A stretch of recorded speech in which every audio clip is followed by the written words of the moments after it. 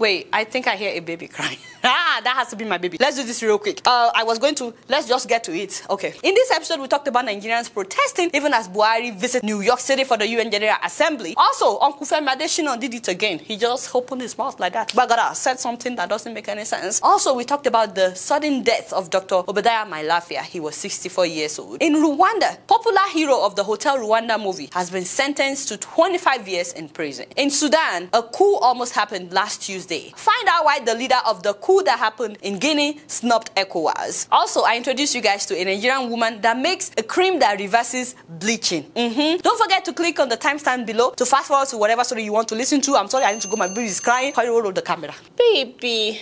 Oh, she's smiling. Mm, I love you.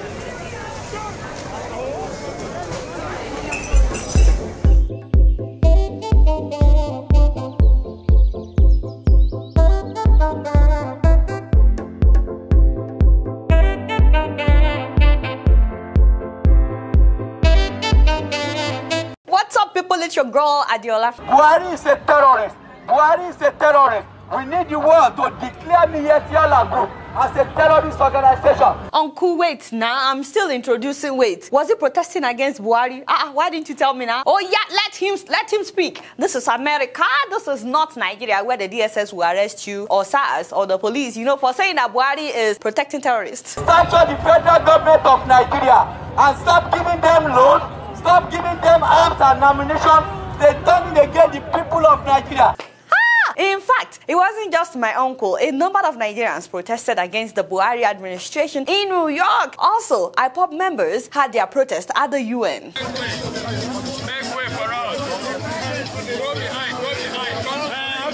Freedom of Martin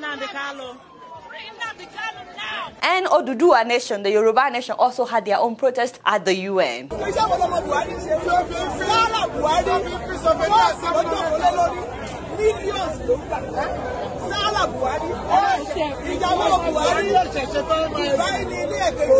Now, the funny thing is, some people also gathered themselves to protest against the protesters. does that make sense? Eh? Where do you get it? You saying the government does that? Yeah. Oh. Yeah. We gotta get rid of the government. Yeah. Wait, that man is not a Nigerian. Play that one more time. Where do you get it? You saying the government does that? Yeah. Oh. Yeah. You, you, get what I'm saying? Eh? And he's protesting against Nigerian protesters? Ha for that. In fact, looking at these pictures, this video, I can also see that we have some Hispanics and at least one white guy among the protesters. So what part of Nigeria are you? I'm not. You're not a Nigerian? So how then you're not a Nigerian and you're protesting for Nigeria? Well, anybody's black, you know what I'm saying? I protest for them. But where are you from though? I just want I'm to know. Here, from here. So you're not from Nigeria? No. How come you have Nigeria and you're here? I can't, I can't, I can't go. I should have said that. Hello, brothers. Is it okay if I talk to you guys on camera? Uh, yeah, I see your placard says stronger, uh, stronger together. So what part of Nigeria are you from, sir? Huh? I can see my sister. I just want to know what part of Nigeria you're you from? We all are from there. I'm from the same part you from. you have fake people in New York to stage a protest. Ah, Buhari people, hey, Bedwaloni, why are you not afraid? Obviously, these were just random people who needed extra cash. now, according to Sahara reporters, you guys know them, they never lie. They said that the Nigerian government paid these protesters $50 an hour. I said, eh, falda. Me? I protest for anybody. I help a lot of people. So you were paid to do this? Yeah. Or you were paid to do this? Yeah, I just I just joined them with everybody. Uh, because I you did not know. Black, white. No, I understand. It, it is good to support brothers, to support the uh, culture. owó níru owó níyọ owó wa náà ni ah ẹ bẹ̀rù Ọlọ́run. I'm just here to help everybody out. I understand that. It's not your problem. It's not your fault. You're doing what they asked you to do. Actually, they said that there was a man that was given the contract. This was a whole contract. they contracted it out for somebody to find recruiters to pay them 50 50 dollars per hour. Now to the important issue. Move closer, my people. You guys remember my uncle now, but Afemi? Yes, he has done it again. As you must have heard, the United Arab Emirates UAE recently named another six Nigerians as sponsors of Boko Haram. Now, Channels TV was asking Uncle Femi about this, but to our shock, he said that the government of Buhari is not interested in naming or shaming this sponsors. The United Arab Emirates recently also came out, not the first time, to name names six Nigerians were indicted in those funding terror globally. Yeah, thank you. Naming and shaming will not be the motive. Rather, bringing malefactors to justice will be it. Wait a minute. You don't want to name them, but you said that you will bring them to justice. how? Exactly how? But after me, in case you are watching, sir. Eh? Thank God that the UAE mentioned their names. Fa. Eh? These are their names. You can find their names. We wanted to put up their pictures, but so many people were bearing the same names. But at least you can see their names. Even now, they may sweep it under the carpet. It's bad enough that another country is the one doing your investigations for you. Ah, ah Berwaloni. Of course, Nigerians did not spare my uncle, you know. what are Nigerians saying about this? Skills to trial. Said I'd rather watch paint dry than listen to Femi Adesina. Ah, to your loan. I'm sorry, Uncle Femi. Please, no vex. Also, read one short Tonwa said, I bet this is all we'll be hearing through his tenor concerning that. Mm-hmm. I have a feeling, my brother, we are on the same page. Also, Olariwaju Jinadu said, How many people has this Yeye government prosecuted for acts of terrorism against the state? Thank you very much. That is the question we've all been asking. Anagboso C. Nedu says, And then what is Nnamdi Kanu doing in DSS's custody? Mm, mm, mm. Mm, mm, mm. Also, Leslie Asagba said it becomes very annoying and irritating when you refer to Nigeria and justice at the same time. Does Nigeria have a legal system? Nigerians, why are you guys not nice to my uncle? Ah, Uncle Femi, please, no vex. Eh, in case you're watching, just be doing this. Okunola Olamuyiwa said Uncle Femi will definitely make the heaven of liars. Eh? Just imagine the spokesman of the president. Did you heaven of liars? Okay, I think he's speaking in parables. How about you guys? Why can't you be gentle with my uncle? Eh? Uncle Femi, in case you're watching. In fact, I have missed you on this show. Please don't mind Nigerians. All of those people are abusing you. They don't know that you are just doing your job. Eh? you're just doing your job. But I just have one question. Tori Tombano Ninseru, Asifitomo Jenny. Translate that to English. Of course, you don't know. Say But it's just, I'm, I'm asking an innocent question. What happened to you? Seriously, but because we are very, very confused. I'm just asking you for a friend. Because this is not how to talk. You talk as if the Nigerians that you are talking to, as if we are stupid. Emma Bino, that is why. We are wondering what happened to the peripheral level of your photosynthesis, especially when you're addressing issues of terrorism. How can you sound as if you are protecting the integrity of sponsors of Boko Haram at the expense of innocent people that are being killed every day in Nigeria? Ah, do not let me look you in the eye. We're getting worried about you. Say, say, malaria, Uncle, please come out clean. Tell us exactly what is happening with you. Emma Bino, all these questions, they are innocent questions. For Nigerians, you know me, I can never question your integrity or who you are. Meanwhile, retired policemen and women are also protesting unpaid pension in Abuja.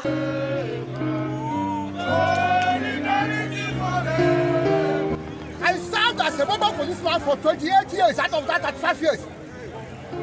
For 28 years, I visited the whole 36 states of Nigeria.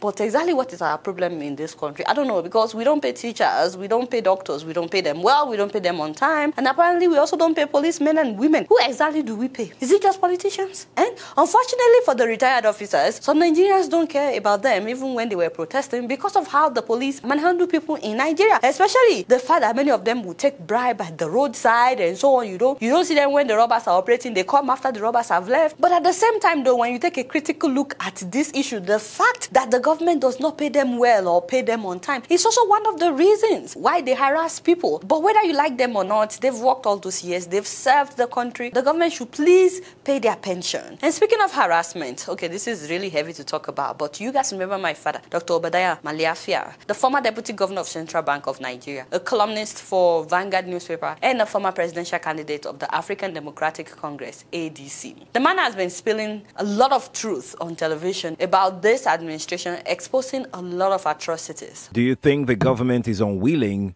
or unable to protect the people of southern Kaduna?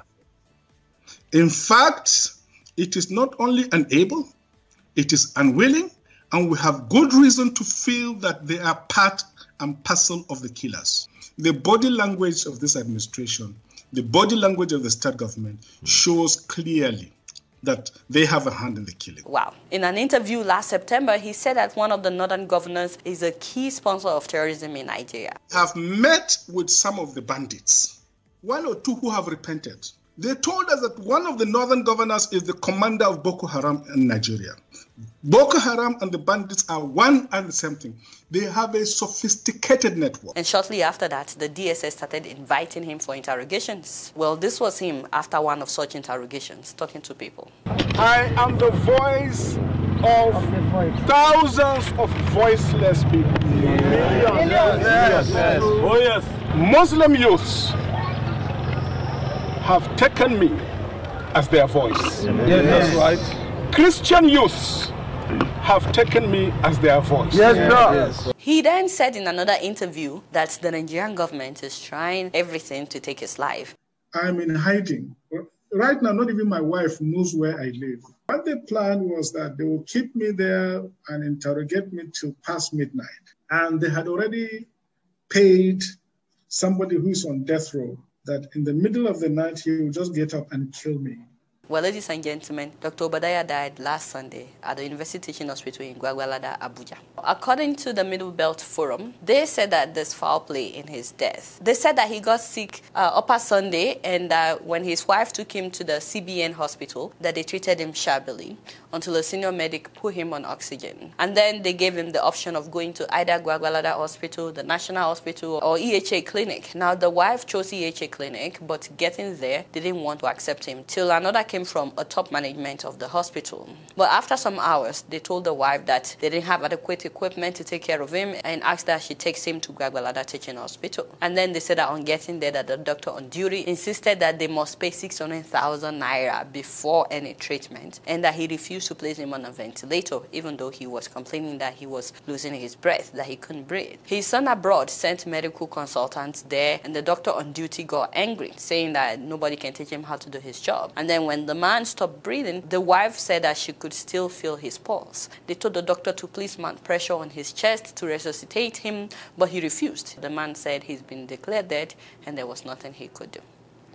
Ladies and gentlemen, that was how Dr. Obadiah died. You know, there's just, there's so much. There's a lot of things wrong with this story. There's so much that I would like to say right now, but I can't even imagine what his wife and children are going through. I mean, he was indeed a voice for the voiceless, not just for thousands of people like he thought, but for millions of people. There are so many of us that never met him, but we felt like he's our father because he spoke on our behalf. And to see him die like that, it's just, it's heartbreaking. We've lost a voice. We've lost a man of courage. My brother, Dr. Obadiah Mailafia, you will not die in vain. An individual who had a close touch with him, I saw the embodiment of somebody who wanted great reforms for the betterment of the citizens of this country. May his soul rest in peace. Our deepest condolences to his family. By the way, when it comes to medical negligence in Nigeria, so many people have been victims. Whether you're a rich person, a big person, or not, so many people that I know personally have been victims. For how long would this go on? Let me know what you guys think about this story. Once again, our deepest condolences to his family. May his soul rest in peace. You guys know I don't know much. Guess what? I'm just keeping it real. Moving on to Rwanda, guys. The hero of that popular movie, Hotel Rwanda, Mr. Paul Rusesabagina, has been sentenced to 25 years in prison. Remember that he was illegally arrested last year. He boarded a plane from Dubai going to Burundi, but the plane landed in Rwanda, where he was immediately arrested and has been in jail since that time as the court proceedings were going on. Prior to his arrest, he was very outspoken against Paul Kagame, the president of Rwanda. Rusesabagina, said that he was tricked by a pastor in August of 2020 to taking a trip to Burundi for what he believed was a speaking engagement, only for him to find himself in Rwanda. Wow. I was like, tricked by a pastor? The devil is a liar. He was charged with funding a terrorist group that has killed nine people. His family has denied it. He was charged with terrorism and related offences. Prosecutors said he was behind a series of attacks that happened in Rwanda three years ago. Rusesabagina denied it. Rusesabagina is a Belgian citizen and a resident of the US. Both governments have criticised the trial. Rwanda's government says justice has been delivered. He stopped going to court months ago, actually, saying that he would never get fair judgment in Kagame's administration. Now, this is what his daughter said. My father was tortured, kidnapped, denied his basic rights, and then now they just gave him a guilty verdict.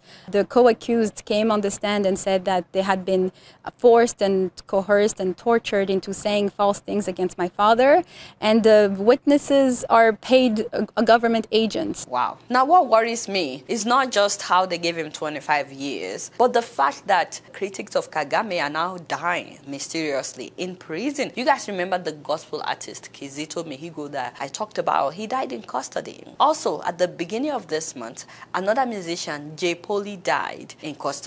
Jay Polly had been singing and rapping about social issues in Rwanda, criticizing the government of Kagame with style in his songs. You know, he won't name names, but he will say things like people are silent, but it's not that the people are stupid. You get what I'm saying? So, well, the government said that he was arrested for possessing marijuana and also a fake COVID certificate. He was in prison waiting for another court date when he died. They said that he drank an alcoholic concoction that he made in prison and that that was what killed him. That was what the government said. Uh, meanwhile, it's not just musicians. Former loyalists of Kagame who leave Rwanda and start speaking out against his government are also being eliminated in foreign countries. He's accused of silencing opponents. South Africa's investigators said Kagame's government was directly involved in the killing of one of his critics, Patrick Karegeya, in Johannesburg in 2014.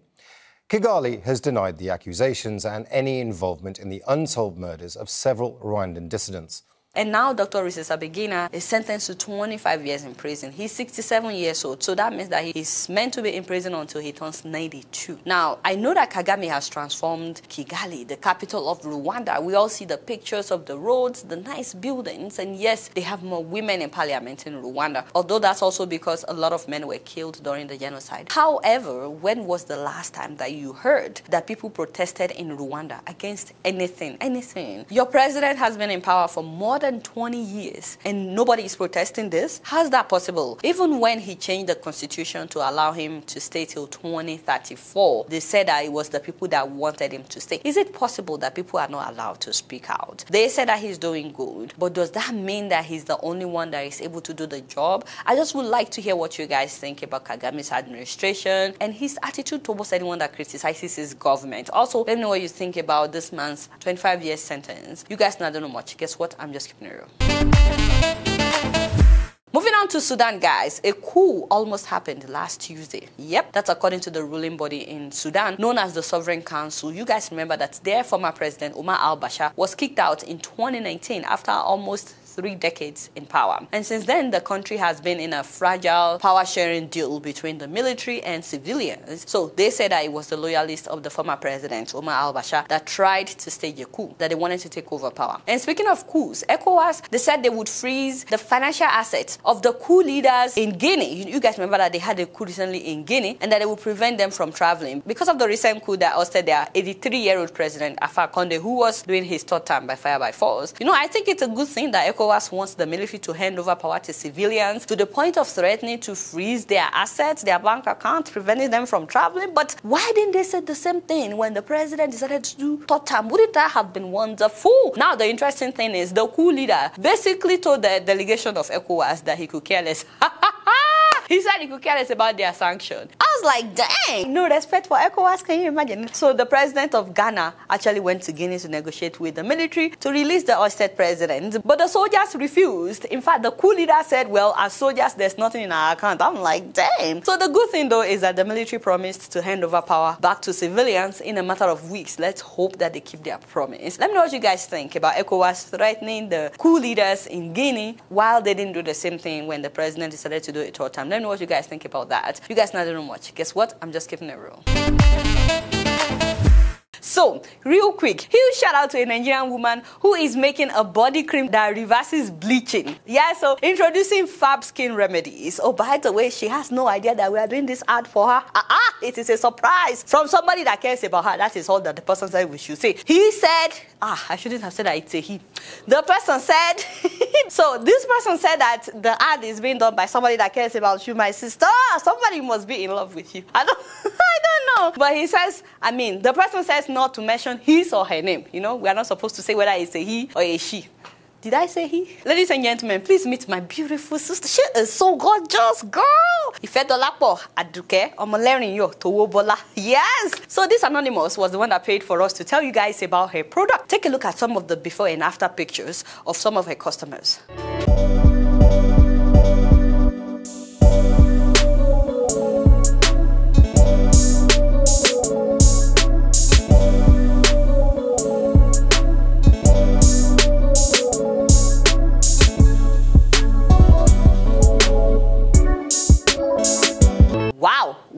I'm like, wait, what? That's amazing. So if you bleached your skin, but now you decided you want to go back to your natural skin, please visit my sister. You can find her on Instagram. That's the best way to reach her. And according to her website, she's using organic ingredients. I'm like, this is really cool. So you can contact her on Instagram. But if you live in Lagos and you would like to visit her store, this is her store.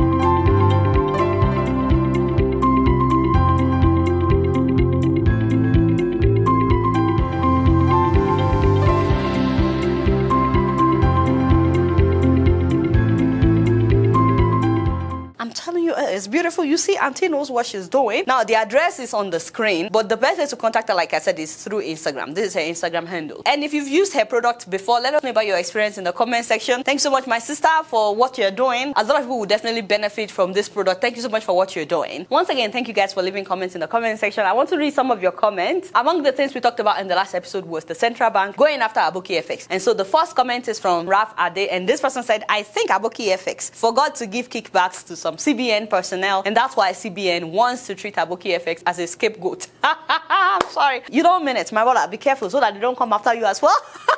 And the next comment is from Blend Orbit. And this person said, To be honest, I agree with what the federal government did. Though he may publish the rates, it really causes a frenzy with everyone referring to those rates in negotiation. This is a job for the federal government or authorized persons. Thank you so much. A lot of people also have that opinion. And like I said in the episode, actually, I said I don't agree that one person should be the one dictating. But at the same time, though, when you get to black market, usually those prices are right. So I don't know how he does it. Anyway, thanks so much for your comment. Rashida Chaka said, I remember going to the bank for dollars to naira exchange, but the bank called an Aboki FX for me to change the money for me. I was like, don't you guys do exchanges? Damn, that's low. That's like, what? Oh, unbelievable. Like, I can't believe they would do that. And then, of course, we talked about my father, Uncle Femi Fanika, the FFK. Clifford Oyamachi said, I thought that this man with his level of education and exposure will keep to his word, not knowing that he has no integrity of any kind. Mm, my brother.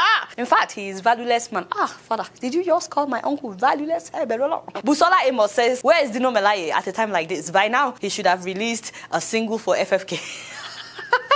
wait Thank you so much, guys, for always leaving comments. I love, love reading your comments. Also, I like to remind you guys that the 15% discount offered by Grace Ofure to anybody that is interested in purchasing part of her new estate, that is the Haven, is ending this weekend. I know it was supposed to have ended, yeah. but when she came to America, a lot of people like spoke to her about extending it, so she did. She extended it, but it's ending this weekend. Please do not forget that you can pay in installments, and when you tell her that you're for me, that is when you get the 15% discount. Also, happy 25th birthday to my brother from another mother. That is Byron Chukwebuka Ogona Orajiato, my brother.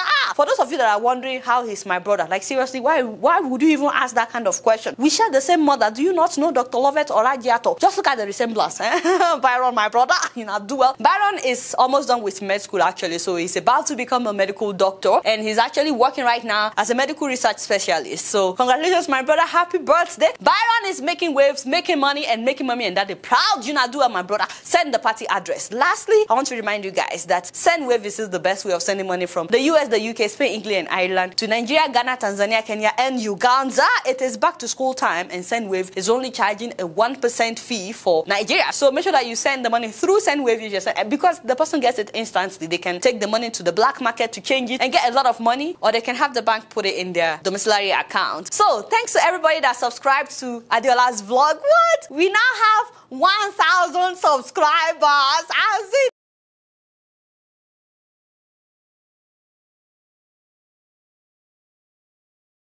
Thank you so much, guys. We are very, very grateful. Thank you for helping our market. That is where you find all the other videos that have nothing to do with news. Like when I told my husband that I was pregnant, he was like, well, like, he, you should have seen his reaction. Well, the reaction is in the video.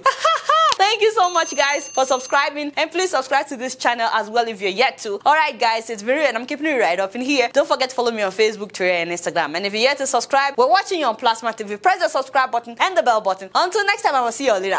Peace out.